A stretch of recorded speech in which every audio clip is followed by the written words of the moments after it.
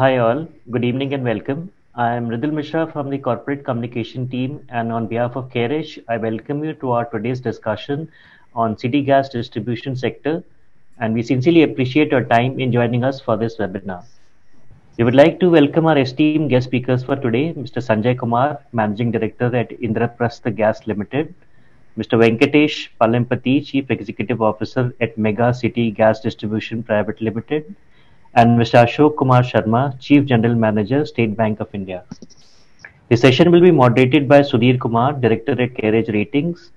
Uh, we will commence the session with the presentation by Janki Aswani, Assistant Director at CareEdge, uh, which will be followed by a panel discussion. We'll be having a Q&A session with the audience at the end of the discussion. In case of any queries, you are requested to key in in your panel.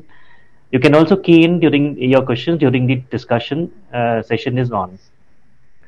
Now, may I invite Janki to make a presentation, please? Thank you, Mridul, for the introduction. Good evening and a warm welcome to all the participants and the esteemed panelists for today's webinar, Will Rising Natural Gas Prices Limit CGD Sector's Growth? To set the context for the flow of presentation, the key messages are share of CGD is expected to increase from 21% in FY22 to 30% by FY30 in India's gas consumption mix. Investments to the tune of around rupees 2 lakh crore are envisaged under the 9th, 10th, and the 11th CGD bidding rounds, which would give massive push to the CGD infrastructure in the country. CGD demand for the priority sector is expected to increase to around 51 MMSCMD by FY30 as against 19 MMSCMD in FY22. APM gas prices have increased by around three times during the past one year and are expected to further increase to more than $10 per MMBTU in H1 FY24 basis the existing formula. While gas continues to be competitive, soaring gas prices have led to reduction in the cost competitiveness of gas vis-a-vis alternatives. As far as performance of the CGD companies is concerned, volumes have contracted since Q4 FY22, while spreads per SCM have improved. We now move on to the first slide of our presentation. The energy requirements of India are largely met through coal and oil, which jointly account for more than 80% of the energy consumption during FY21. The share of gas in India's primary mix was around 6.3% in FY21 as against 24.4% globally. In order to re- reduce carbon emissions, a lot of thrust is being laid on cleaner energy sources, due to which the government of India is putting great emphasis on India being a gas based economy. And for that, it has committed to achieve 15% share of gas in the primary energy mix by 2030. While we have covered the present level of gas consumption in India and the government target by 2030, it is also important to look at the aspect of domestic gas production and LNG imports, which we shall be covering in our next slide. As seen from the chart, the gas consumption in India has increased at a CAGR of around 3% from 141 MMSCMD in FY15 to 175 MMSCMD in FY22.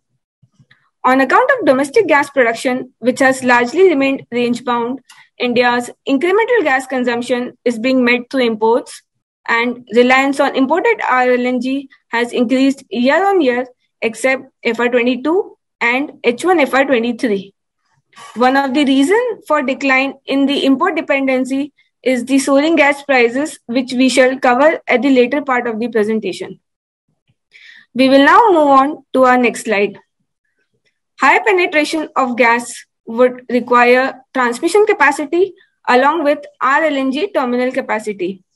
Both these capacities are expected to grow significantly by FY24 as shown in this slide due to operationalization of under construction gas pipelines and upcoming RLNG terminals, which include Chhara, Jafrabad, Dhamra, Jaigarh, etc.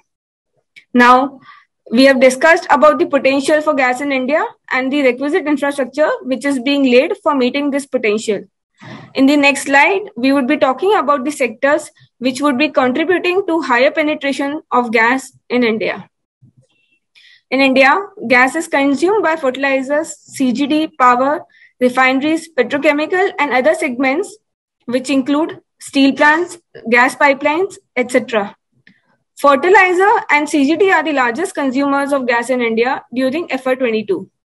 Out of the total gas consumption, the share of CGD sector has consistently increased from 11% in FY15 to 21% in FY22. The only exceptional year was FY21, wherein there was a decline due to the pandemic. Now, this share of 21% is expected to further increase to around 30% by FY30, which would largely be driven by the GAs awarded in the recent CGD bidding rounds where, which we have covered in the next slide. Post the ninth round of bidding, the CGD sector has seen massive growth in terms of total geographical areas which have been bidded. Till 2018, India had only 92 GAs covering around 11% of the total area and 20% of the total population. With 202 GAs awarded in the 9th, 10th, and the 11th bidding rounds, India is likely to have total 294 GAs with an area coverage of 88% and population coverage of 98%. Also, in the recent bidding rounds, the CGD companies have bidded very aggressively in terms of minimum work program for CNG stations and DPNG connections over the coming eight years. With increase in the GAs and based on these biddings, the coverage of CGD infrastructure is also expected to significantly grow up. The CNG stations are expected to grow at a CAGR of 21%, whereas the DPNG connections are expected to grow around 37% by FY30. Now, this appears very significant vis-a-vis the growth we have achieved so far. Having said that, we believe that the actual MWP, uh, that the actual achievement of these MWP targets would be lower considering higher costs involved in connecting households in tier 2 and tier 3 cities, effect of high gas prices, evolving threat from EVs, etc. Now, uh, with this uh, MWP targets and the increasing in infrastructure, we believe that the total demand from the priority segment would increase to around 51 MMSCMD by FY30 as against 19 MMSCMD in FY22, of which majority demand is expected to come from CNG. While we have covered the, uh, the aspect of expected uh, increase in the gas demand on the back of growth in the CGD infrastructure, it would be imperative to touch upon an important aspect, uh, which is gas pricing, that we shall be covering in the subsequent slides.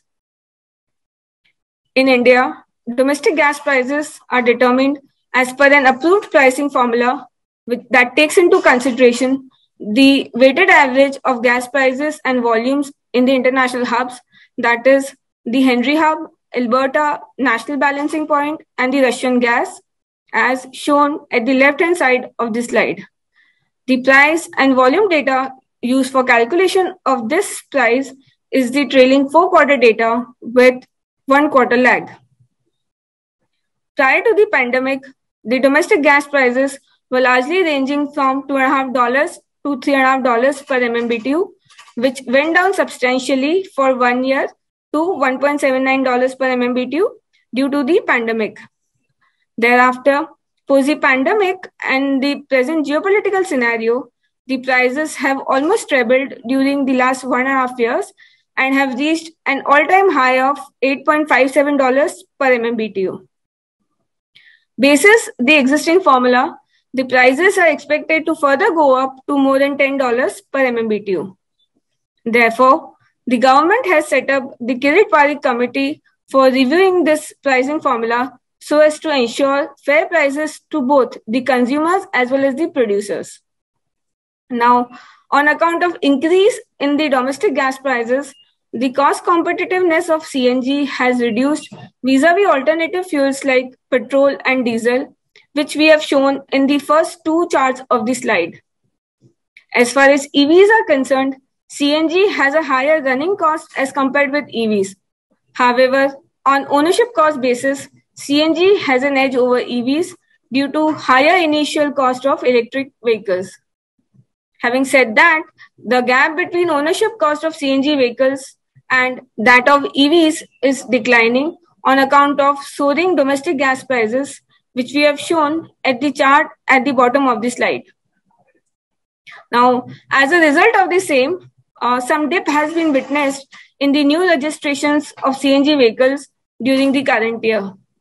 The passenger vehicle segment registered a dip in quarter two of FY23, whereas the commercial vehicle segment registered a dip from quarter one of this year, as shown in the first two charts of this slide. In addition to the same, there is an evolving threat of EVs for the CNG segment for which we would like to have insights of our esteemed panelists in the later part of this webinar. Now, not only CNG, but the cost competitiveness has also declined in the DPNG segment vis-a-vis LPG, which is shown in the left chart of the slide. As a result of the same, new connections in the DPNG category have been hit in the H1 of this year, which is shown in the right chart. Now, till now, we have been discussing about the rising uh, domestic gas prices and its impact on the CNG and the DPNG segment. In the subsequent slides, we shall also be talking about the imported, imported gas prices and its impact on the industrial PNG segment. Historically, uh, spot LNG prices and crude oil have largely moved in tandem. However, the spot LNG prices have increased more steeply than crude oil as shown in the left chart. The main reason for this sharp increase are increase in the demand post-pandemic, Russia-Ukraine war, which has impacted the gas supplies to Europe, some disruptions, disruptions on the supply side, etc. Now, as new GAs are ramping up their industrial sales volume, for which long-term supplies are not yet fully available, the LNG imports for the CGD uh, sector have registered a decline over the past two quarters on account of the high spot LNG prices. Uh, gas has become quite costly, uh, co- quite costly for the uh, industrial segment as compared with some other industrial fuels such as naphtha, furnace oil, etc., as shown in the left chart. However, when we look at the connections, the connections in the industrial PNG segment continue to grow despite high prices, which can be seen from the right chart. We would like to have insights of our esteemed panelists on this also in the later part of this webinar. Now, in the next slide, we will talk about the performance of the CGD companies, companies amidst the challenges around gas prices. CGD companies have significant pricing power as a result of which they are able to pass on the higher input cost to their consumers. In this slide, we have evaluated the performance of four CGD companies whose aggregate volumes account for around 70% of the total CGD volumes of India.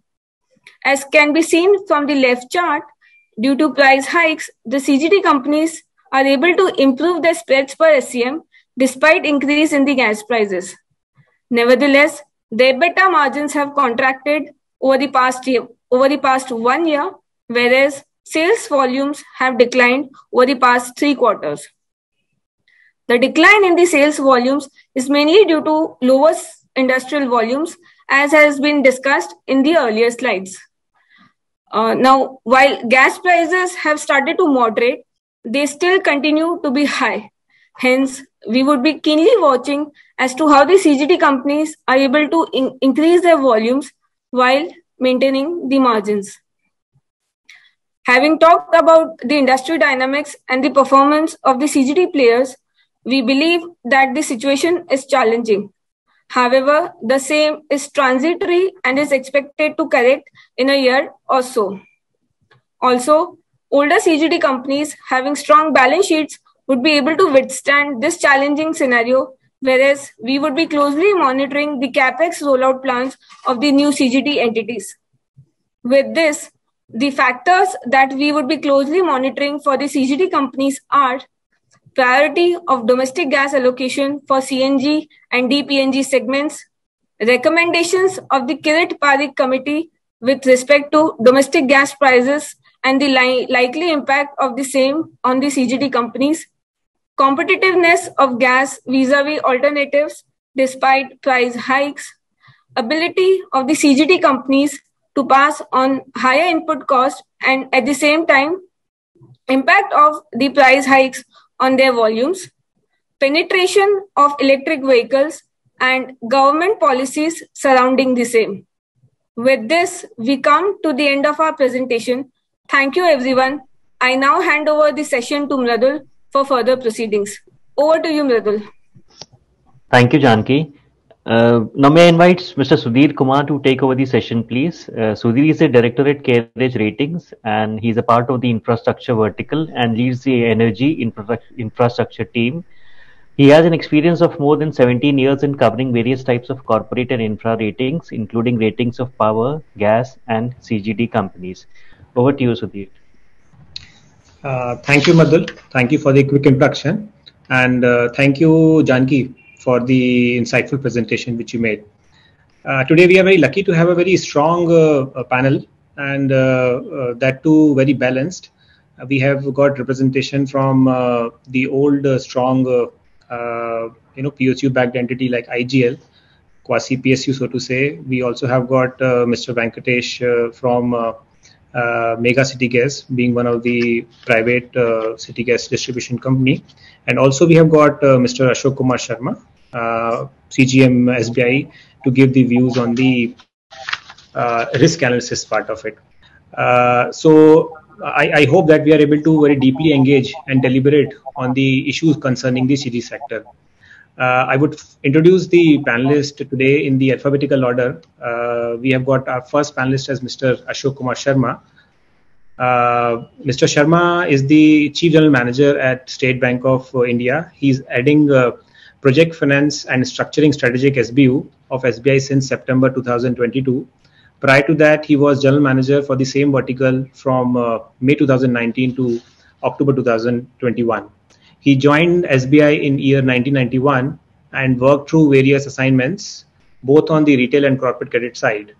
In the past, he has handled uh, various credit assignment as DGM uh, Overseas Branch, DGM Nehru Place, Delhi, as well as VP Credit as SBI Singapore. He is also the member of task force for setting up a National Bank for Financing Infrastructure and Development, which is NABFID, and he has also supported setting up the bank under the chairmanship of Shri KV Kamath uh, from November 21 to August 22. Very warm welcome to Mr. Ashok Sharma to the webinar.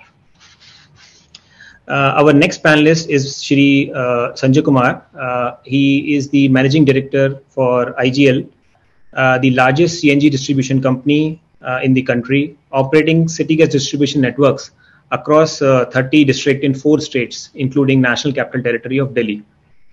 Mr. Kumar is a mechanical engineer from IIT Kharagpur and an MBA with an experience of over 35 years in the gas sector. He joined GAIL India Limited in year 1998 and has developed deep insights into gas and LNG value chain.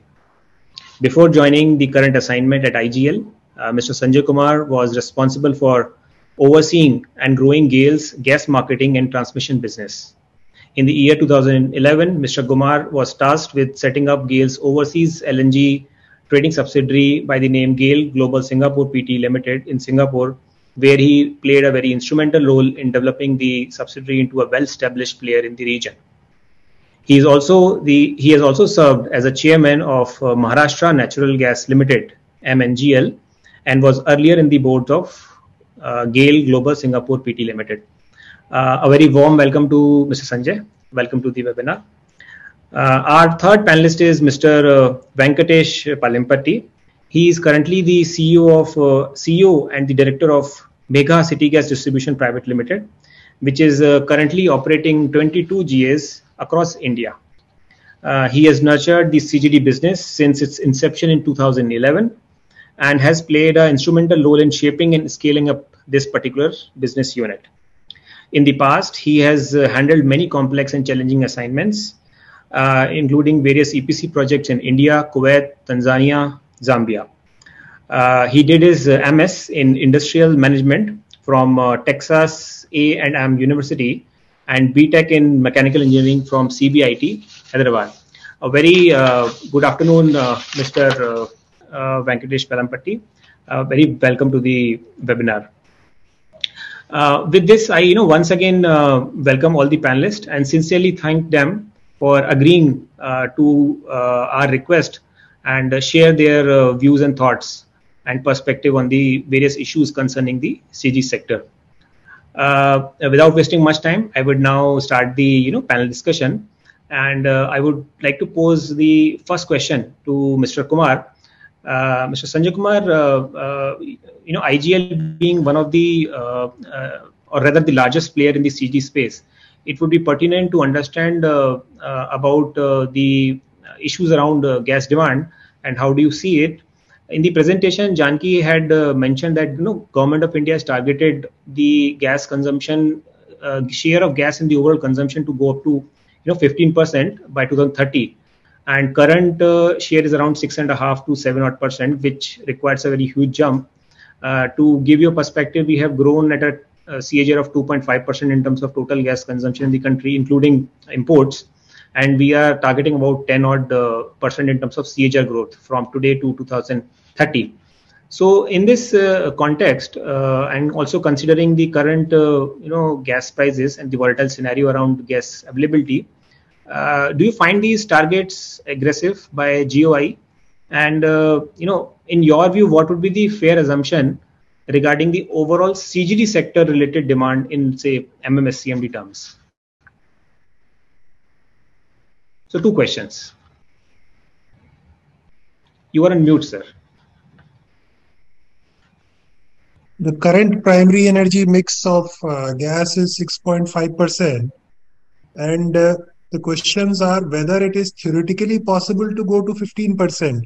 Now, as per our calculations, if you want to take this uh, to 15%, we will need consumption of about 450 to 500 million cubic meter per day by the year 2030. Now, it is possible to reach that kind of level provided the prices are moderate. You know, if the current force majeure situation that we are facing in the country and in the world market, the gas prices are much higher than uh, in any other year that you have seen. The average price of uh, this calendar exceeds $25 uh, if you uh, calculate the average of uh, spot uh, LNG market. Now, with that kind of pricing, the achievement of 15% uh, primary energy mix uh, looks difficult. But if you look at the history of last 20, 30 years of LNG, you will find that uh, in, in most years, the price of LNG has actually remained high for two, three months and then gone down. And it, it has cooled off to normal levels of seven, eight dollars or even lower than that or ten dollars so if those prices are there, $8, $10, $9 of the LNG, then it is possible to reach higher consumption of gas in the PE mix. The, uh, the other aspect is that uh, APM and non-APM gas is being used for CNG and PNG. For that, you have already, uh, uh, Janki has already made the presentation in which she was referring to the, the Kirit Parikh committee Hopefully, they will come up with a solution which will be helpful for the CGD sector to grow. Uh, regarding the, the CGD sector assumption of 51 million, that we will definitely achieve. Even you know at higher prices of $12, $15 of world market, but with APM price of six, seven dollars, we can achieve $51. The actual estimate of uh, you know if the prices are moderate we can easily achieve about 100 million cubic meter uh, per day of consumption in cgd by 2030 because the number of gas that has been pointed out in the presentation post uh, round 8 so 9th 10th and 11th round they are so many and so so much of the the the country has been covered by cgd licenses that it is quite possible to achieve consumption of 100 million cubic meter per day in the country in CGD sector. Whether this will help us in achieving 15% or not, for that we will need moderate price levels. This is my take on this question. Sorry, uh, I, I yeah, don't yeah. remember the second question you posed.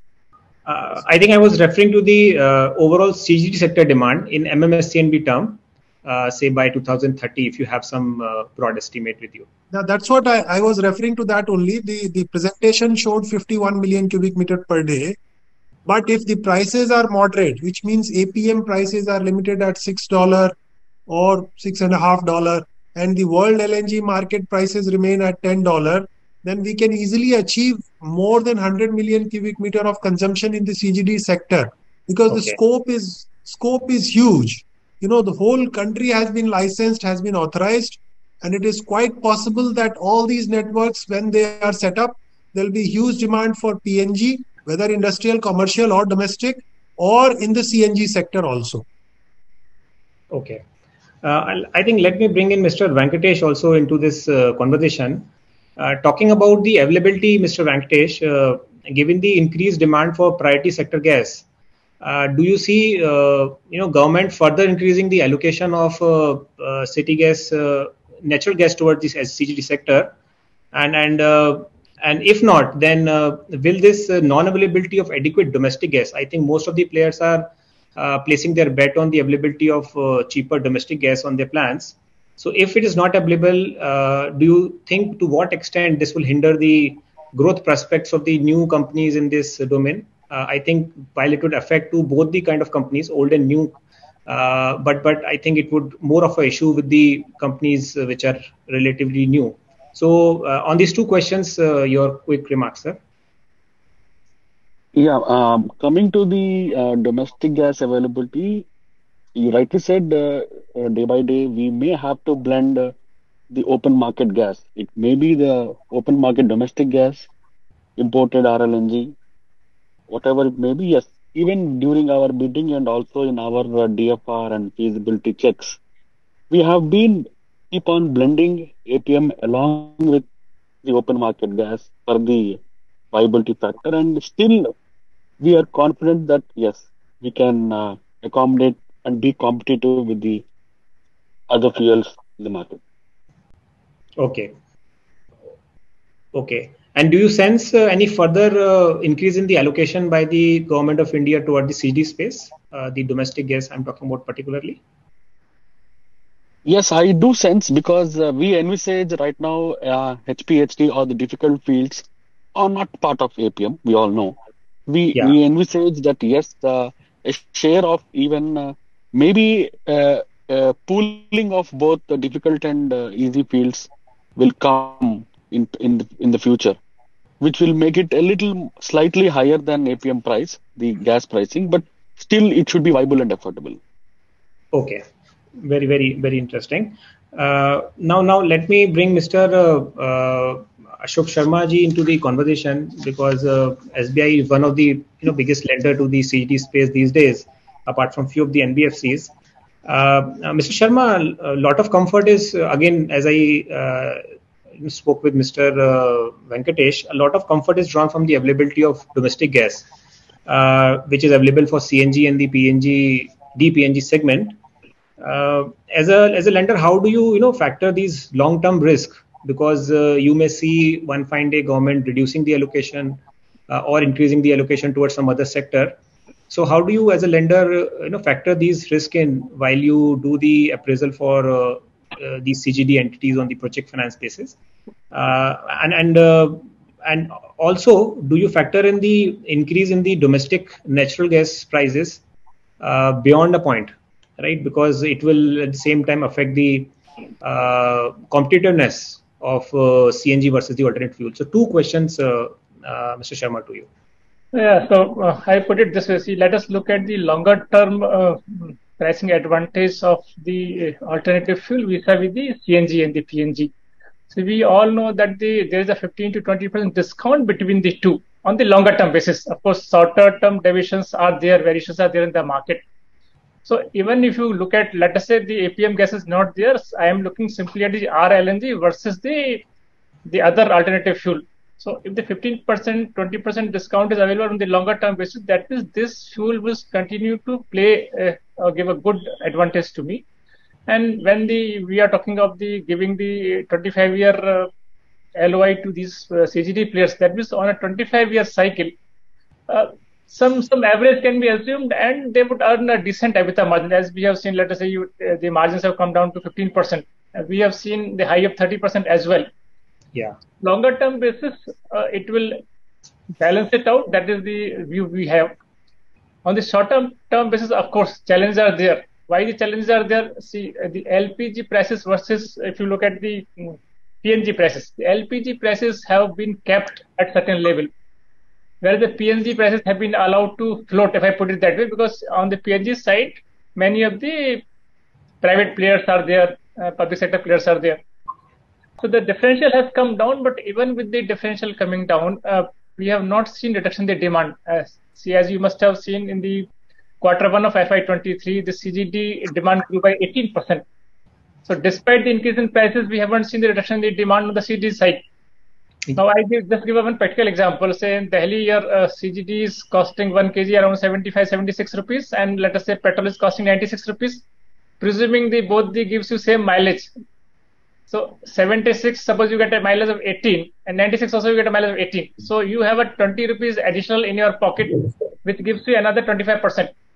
So Yeah. despite the shorter term challenges that we are having, the pricing advantage would continue. And in the longer term, our opinion is that these advantages, uh, these disadvantages would balance it out. So we do not see big challenges. And one more thing you must have observed, the ability of the PNG players to pass on the prices to the to the consumer. See, PNG versus other modes, we find the convenience is very high. So uh, the PNG players, uh, PNG consumers, even though the pricing may be little higher, but in terms of the convenience, they are very, very happy in consuming that. So we haven't seen on the both PNG and the CNG side consumers moving away despite the higher prices. And that, that is good for the lenders, good for the industry. Yeah, absolutely. But sir, uh, uh, considering the fact that uh, uh, these these uh, domestic uh, gas production that has been static for past couple of years, I think I was looking at 2014 to 2022 now. Almost it has become the remain the same, and uh, we are placing all our big bets on the fact that there would be domestic gas availability. Uh, so, to what extent uh, this particular factor plays a role uh, while you are appraising the projects? Sir, if you look at the August September number, I think up to 94% of the APM gas was made available to the CGD sector. So Okay. this number, as uh, uh, Mr. Sanjay Kumar was saying, that if you go into a 100 mm, MMSCMD kind of number, then this number will come down because probably as of now, the visibility of such a higher gas production in India is not there. Although a lot of DSF kind of fields are coming up, but still uh, they are in a stage wherein you cannot project what kind of gas can come out of uh, those fields. So we have to depend upon RLNG, but what I'm saying, despite our dependence on RLNG and the ability of the PNG players to pass on the prices, the EBITDA margins would continue in a decent range. Uh, see, 30% EBITDA margin for any company in any sector is a abnormal. Even 15%, 16% is considered a good number. So with 15%, 16% as well, the companies would do well. And as a lender, we are comfortable with that kind of EBITDA margin. So I do not see a, a risk uh, beyond a point, uh, even with this kind of pricing. Okay. So I think by far uh, uh, most of the panelists have you know uh, have said that you know the issues around uh, availability of gas are there in the short to medium term, but on a longer term basis, you you kind of see that these uh, effect would even uh, out and the uh, gas sector would continue to grow, though not at a very strong pace, but but in the near future there would be some issues around the gas availability. Uh, continuing the issue of the gas availability, Mr. Sanjay Kumar, uh, we, we see that there are a lot of uh, RLNG imports which are there into the country. And uh, on the spot side, we have seen a lot of uh, volatility. Uh, yesterday, uh, there was one long term gas deal which was signed between uh, Qatar and Sinopec, uh, 4.4 MMTPA for a 27 year period. I do not see such long-term deals happening in India. So, in context of you know these long-term deals not happening, how are the large CGD companies like yours, uh, you know, are planning for such long-term gas purchase agreements uh, in this backdrop? How do you see these long-term gas arrangements falling in place? See, the, even the largest CGD company in the country may not be so, you know, so large to enable handling large LNG contracts. LNG contracts, even if you purchase one cargo per month, it is equal to about 3 million cubic meter uh, of gas per day. Now, that kind of volume um, for IGL at least buying that kind of uh, market priced uh, RLNG from or LNG from an international source which has got its own you know volatility uh, because most of it is indexed on Henry Hub or on Brent or on JCC. Now these indices they do not have anything common with Indian uh, consumer Indian gas market. So there is no relationship between the indices and the the consuming uh, you know people, the consuming uh, society in the country, whether it is the CNG consumer or uh, or the DPNG or the industrial customer. Now all these uh, places there are alternate fuel which uh, you know Mr. Venkatesh had referred to uh, in the industrial sector, there is this industrial LPG, which is very cheap actually because it is under GST. So, and even though the prices may be same today, but the GST gives them an edge over gas. The same is the case with commercial also. There they can use uh, LPG.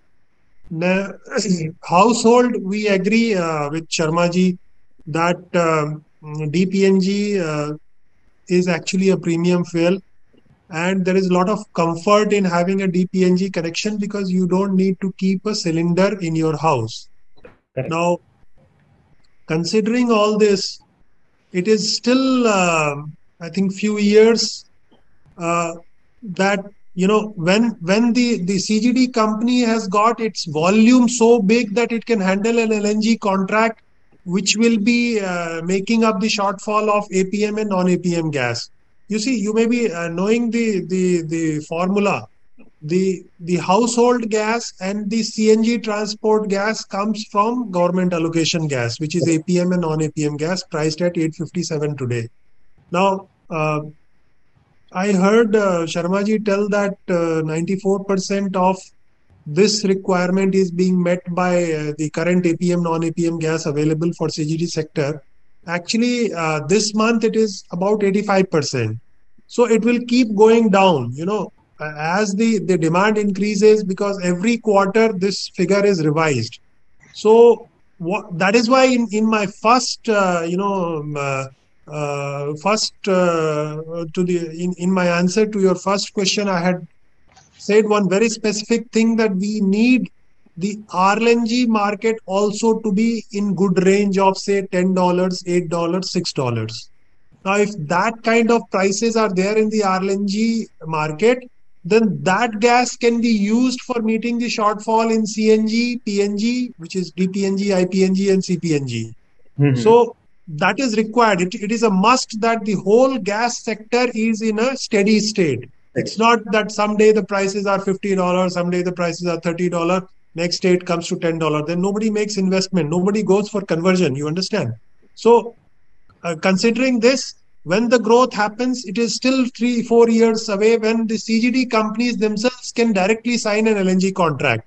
However there are sellers there are reliable sellers in the country domestic sellers who have got long term contracts who may be uh, you know contemplating upon signing contracts like you have referred to like the chinese contract uh, signed uh, 3 days ago so they they are offering volume to us, and these are quite uh, good uh, contracts. They are not these contracts are. Uh, let me correct. They, these contracts are not available in last two three months, but they will be available shortly as soon as the market normalizes. So CGD companies are basically contracting with the domestic sellers who have got access to market determined price gas, which could be RLNG or HTHP gas or some free price gas. That is my answer.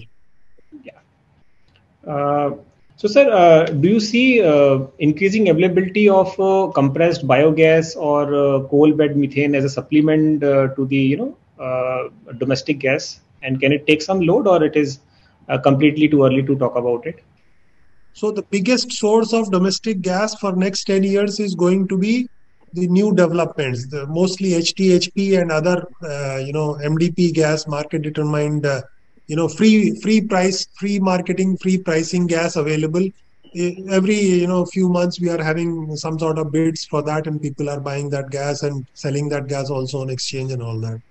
The second source of availability will be CBM gas. Already two three blocks uh, are producing significant volume of gas uh, whether in Sohagpur or in uh, West Bengal, there are some other places also. The the source of CBG, which is coming from uh, from the agricultural waste or from the press mud or from the cow dung, etc., mm-hmm. that is still limited. Though the potential is 15 million tons in a year, but it will take some time for us to reach there. That sector is still struggling with you know these are initial days for that, and uh, we hope it it uh, picks up because it will be the required import substitution step that we are all yearning for. Uh, as of now, the production is limited to a few thousand uh, SCM per day only.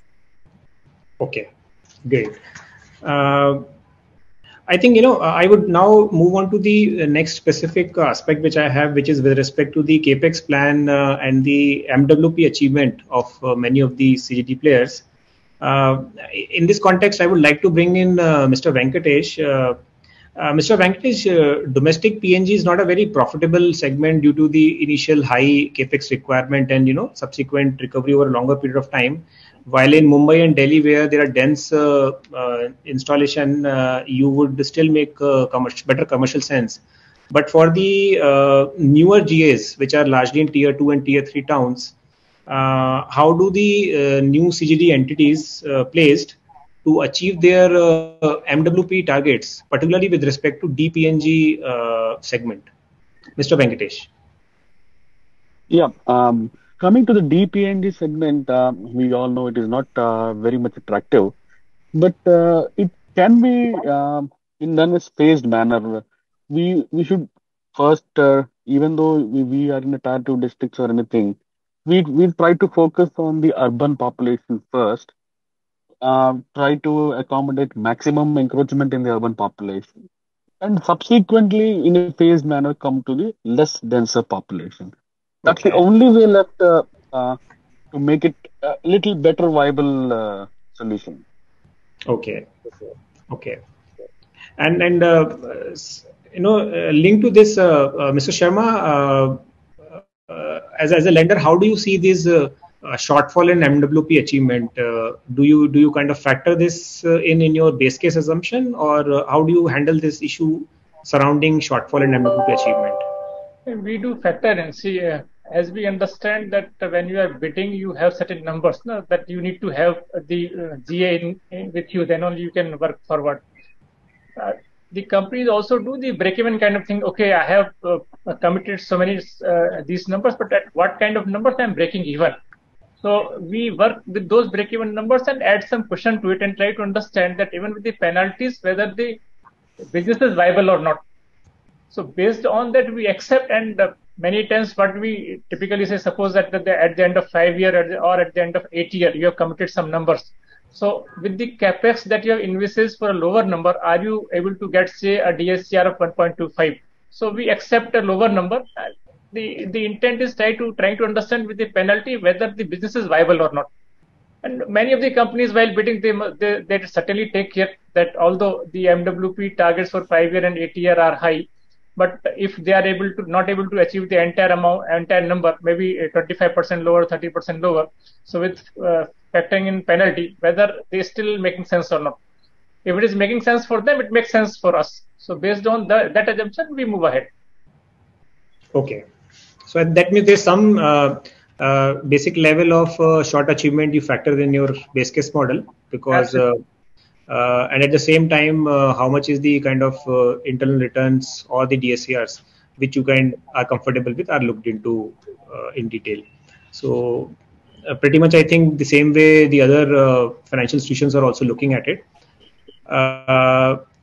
Uh, now, now, sir, let us move to one important segment. I think when we're discussing with our other participants, a lot of questions were around the threat of EVs and then what kind of impact it would have on the uh, CNG space. Uh, so my question is to Mr. Sanjay Kumar. Uh, sir, we see a lot of uh, uh, push for electric buses in the urban centers. And uh, I was looking at some data point that over the past couple of months, there have been more CNG, more electric bus registration versus the CNG bus registration. And there is a lot of, you know, FAME related subsidy also going toward this segment and apart from that the other particular uh, uh, two wheelers and uh, passenger vehicle we are seeing a lot of push coming towards the ev side you derive maximum percentage of your revenue or profitability through the cng segment how do you see this you know threat of ev evolving over the next couple of years while it is still some time away but as a uh, premier uh, uh, CGD company, how do you see this threat and how are you mitigating this uh, threat uh, in the times to come? You see, EV threat is for real. You know, one cannot deny that. And we at IGL have accepted that this threat is there. We believe our, uh, you know, CNG volume may be impacted, especially in Delhi. In other areas, it will still take, uh, you know, 10, 15 years but in Delhi, in the National Capital Territory, a uh, lot of stress is there on EV buses and EV taxi, etc. So the threat is for real. Uh, in next five years, we will start uh, feeling the the the the hit on uh, on CNG uh, volumes, and uh, in order to mitigate that, we are trying to be a part of that game. So uh, so that we continue to be an energy company and uh, we are a significant partner in EV business also. Regarding, there are other, you know, CNG related diversification that we are thinking of. for instance, long haul transport.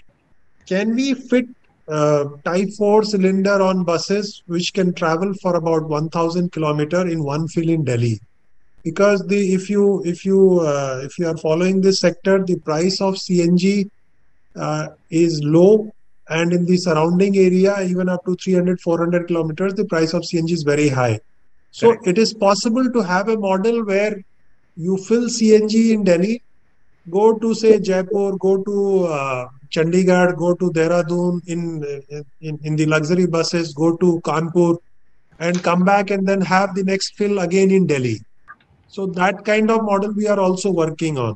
But coming back to the original question that you have, EVs are, uh, you know, going to come. Uh, presently, whatever EV buses are available, they are not so good because I find many of them on the street under breakdown. But uh, they will definitely evolve. In a year or so, they will become, uh, you know, more efficient. They will get over their teething problems. Okay. Uh, I, I, think a related question is to Mr. Uh, Venkatesh. Uh, uh, when we talk to a lot of uh, private uh, CGD companies, they talk about preponing their you know CNG expansion plans because that is you know more profitable vis-a-vis the other type of connections, whether it is DPNG or IPNG. in that context, and what Mr. Sanjay Kumar just said, uh, how are you uh, you know going to uh, handle this ev threat uh, which is for real uh, as the other participants are also confirming to before venkatesh comes in i must clear one uh, misconception. The cng business is today not profitable. For last two three months we are losing a lot of money on that when you know for last one and a half months rather. Okay. Because the prices have gone up and if you increase the price uh, mm, so high that it is near to diesel price nobody will buy nobody will convert, nobody will convert. then then this whole ecosystem will get destroyed. So we are in a lot of pressure you know. We uh, you know before increasing the price any further we are thinking twice thrice you know. Now venkatesh ji. Yeah. Yeah uh, coming to the yeah, CNG segment, yes, we accept and we are also planning to prepone our uh, construction activity because the, since there is uh, very less time available, uh, we want to uh, capture that market as early as possible before the EV comes and plays a bigger role. But however, yes, uh, as Mr. Sanjay said, yes, it is a threat and we all accept it. But 100% EV will take some time, might take little longer time. Absolutely. If you ask me, if you ask me, uh, CNG would be the last fossil fuel to eradicate. Go away before before EV and uh, you know hydrogen or etc. etc. Do, uh, dominates the uh, energy sector. So yeah, yeah. I I still have time. I would say CNG still has a little more time than petrol and diesel. But yes, uh, we also have changed our plans and uh, we want to finish the CNG capturing as early as possible. We don't want to wait for the entire eight years. Yeah, yeah. Uh, I think we have got a little more time before we go for a audience uh, questions. Uh, uh, Mr. Sharma, I think I have one specific question for you. Uh, so far in the CGD sector, with the presence of companies like IGL, MGL, BGL, which are having very strong balance sheet and also in the initial part of their operation supported by strong oil PSUs. so um, more or less their projects are financed on a balance sheet basis. Now, but now with the advent of you know new players coming in with uh, limited background, uh, which are financing their project on non-recourse basis. So, as a lender, do you believe that now the sector risks are well understood and uh, uh, there is enough appetite for project financing of CGD projects in the country, or there are still some open risk which are keeping the lender away? I think CGD sector uh, the, it is understood quite well, and the large number of lenders are keen to participate in the funding. Uh, one advantage in balance sheet funding, as we all understand, is the pooling benefit is there. So you have multiple GAs. So some GAs are giving lower revenue, the the older ones are giving higher revenue. So that advantage is there. As, as you rightly said, when the new players are coming in uh, and they are doing the GA on SPV basis, so some of them have the monetization in mind. So maybe after stabilizing the GA, they will monetize it or they are raising certain equity. So they uh, the investors want to have a rights over the specific SPV. So both models are in the market, uh, the SPV model as well as the balance sheet model. And uh, based on a case-to-case basis, we take a call. But uh, there's no discomfort whether it is a SPV. Of course, balance sheet gives an added uh, advantage, added comfort to the lenders. Okay. Okay. Uh, Thank you, sir, uh, for those remarks. My last question is to again Mr. Uh, Sanjay. Uh, sir, you uh, have a very uh, long track record of operation, and uh, in that sense, the because of the evolving leg- regulatory landscape, the marketing exclusivity under the GAs would be coming to an end or would be ending. so, how do you see this as a challenge for the incumbent player like you, who have relatively long you know uh, operation so far? Open access. Not only in cgd like you know in many other fields the new entrants there are always uh, so many things uh, infrastructural and other entry barrier that uh, the existing player these are the advantages with the existing player and that is always there. So as and when there is open access we will be able to deal with it. There is sufficient moat that that we have created around our business. I would, you know, this matter is slightly sensitive, so I would not like to say much about that. Okay, okay. Uh, so I think you know we had a very uh, enriching uh, discussion so far, and uh, I think we covered uh, most of the issues surrounding the sector, whether it is uh, demand, pricing, threat of EVs, uh, and the issues around uh, open access. Uh, and I believe the sector is on a very significant growth path. And with the policy thrust and the enabling policy environment, it will go a long way. So uh, with this, I think we end our uh, panel discussion, uh, and we can go now for a few of the questions from the audience, which is you know eagerly awaiting to ask few of these specific questions. So thanks, Sudhir. Uh, dear participants, you're requested to please key in your questions if you have any to the panel. Thank you.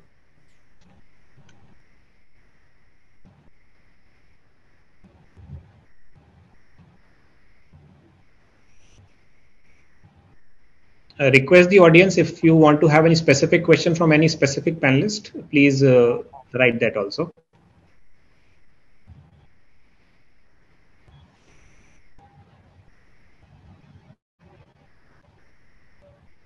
So the session was so good that there are no questions. One one question, sir, I have just received. Uh, it is from the likes of Mr. Mohit, uh, who is saying that uh, uh in the presentation, the PNG industrial connections uh, were shown to be uh, declining, increasing despite increasing LNG prices. So, how do we explain this particular issue? Mr. Sanjay Kumar, if you can take this question. That particular chart was not location specific. You know, there are some places where uh, uh, there are regulatory or statutory orders about converting to gas or converting to LPG, etc. Some some such things are going on. Uh, I believe uh, the real impact of very high prices would come in coming quarters. This is my belief because there is always a kind of stickiness in the market that देखते हैं let's watch for two, three months, four months, five months.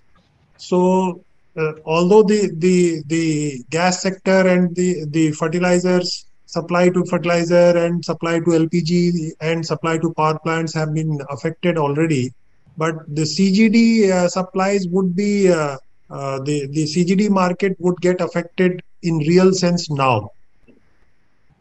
Okay. And so there's one question from Mr. Amit. Uh, he's talking about uh, that presentation talks about Kirit Parikh committee and uh, they are planning to do something with on the prices. So any inkling or any uh, input you have on the prices, how they are going to pan out or something on those lines? Uh, we only hear what you hear. I'm, okay. IGL is not a part of that committee. We are not aware of the discussions. But important constituents of the overall value chain, uh, I'm sure would be significantly. Yeah, but I'll add, uh, but I'll add to it. But yeah, let's hope that this new new formula will help the CGDs at least. We are yeah, all yeah, waiting. Yeah. Everyone is waiting. That, on, on that uh, statement, all the CGD players are agreeing. What Venkatesh is telling, all of us are telling, please help us because I told you the main problem. CNG is no more a profitable business. Mm-hmm. I think uh, that's a very strong statement uh, Mr. Kumar has made. Uh, and you know, uh, me, uh, Mr. Sharma in SBI would you know make note of it, and and uh, would would suitably accommodate this when we prepare our credit appraisal notes. So no, but the one another thing is that we believe it is a short-term phenomenon. We because it such high prices cannot continue for so long. You know, there will something will happen which will cool down the market. I agree. As I was saying, it's, it's a structural uh, uh disequilibrium which has come now. It has to get corrected. Maybe it may take some time. Sure, sir. Sure. Um, I think there are a couple of more questions. I think I've got five more minutes. I will take them. Uh, there is one question from the likes of uh, Bij- Bijinder Rathor. He is saying, My question is for Mr. Sanjay Kumar. Uh, can we have some idea of the current average cost uh, landed for bulk handlers in India and how much that translate to landed RLNG cost for the CGD players like IGL? And in one of the news item this month, uh, Petronet LNG has stated that it would be trying to negotiate the long-term gas contract with Qatar ending 2028 at a slope of around 10.2 uh, percentage and the existing contract expiring uh, 2023 is 12.7 percentage slope of the bank Brent crude price on a delivered ex-ship basis. So can we expect adequate Every, availability of gas? Everybody in the, in the country, whether it is Venkatesh ji or myself or uh, any other company, MGL, MNGL, Gujarat Gas, anybody will buy a lot of gas at 10.2% uh, DES. I presume that is DES price. Or even if it is FOB Qatar, that's that's not a problem. The current okay. price, uh, you were asking about the current uh, trend and the delivered price.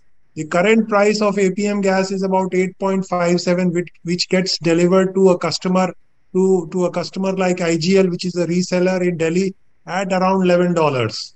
And the and the um, if if this is an uh, LNG contract, then the current LNG prices are around twenty five dollars, which gets delivered to a customer like IGL in Delhi at $30 and then $30 per MMBTU. I hope you understand. $30 per MMBTU is equal to 135 rupees per kg of CNG. without any profit for IGL or any such network operator. So that now you can imagine the kind of problem that we are in. Whatever is the shortfall, 20, 15% of the volume that we are selling in CNG and PNG, we are buying from RLNG market. Uh, IGL itself has done one transaction at more than 38 39 dollars uh, you know for uh, for certain quantity of gas in the month of september. Now that kind of prices if we are paying then it is the, the impact is huge. So coming back to the question the current prices are $25 at port in india and it can get delivered to a customer like uh, IGL at $30 and then they have to pass it through their network and deliver to their customers there is an usual cost built into that okay okay and there is one more uh, uh, question from uh, Kirtan Mehta. He's saying on the EV thread, can loss of demand from buses be offset by growth in other vehicles, assuming that our car penetration will continue to grow? Let, let's not forget, it's easy to buy a car, EV car, than, than to buy a EV bus. EV buses are very costly. And the kind of, uh, you know, uh, subsidy that is there, it will continue definitely, but still it is difficult to buy EV bus. And that is why I said only one or two state road transport corporations will be able to buy. Car is very easy to buy.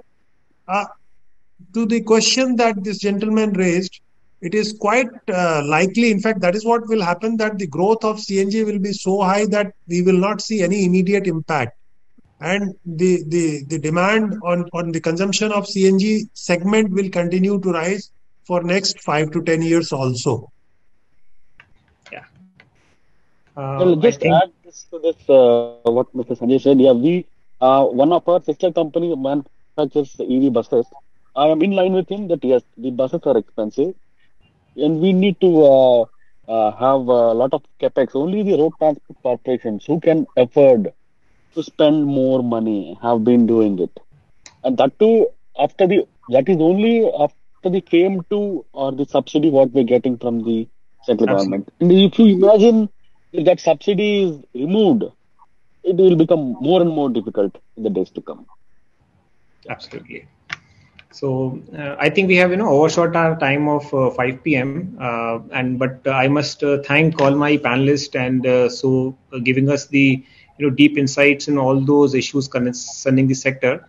Uh, thank you once again, uh, uh, Mr. Ashok Sharma, you. Mr. Sanjay Kumar, and Mr. Venkatesh. Over to you, uh, Mridul, for the closing comments. Yeah, thank you, Sudhir. Uh, thank you, for, uh, dear participants and uh, the guest speakers for the insightful views. so it was a privilege hosting you. Uh, for any further queries, feedback, or suggestions, you are please welcome to write to us in the comment box uh, feedback mail, which will be coming no sooner the webinar ends. And uh, goodbye for now. I, I request the tech team to log off, please. Thank you.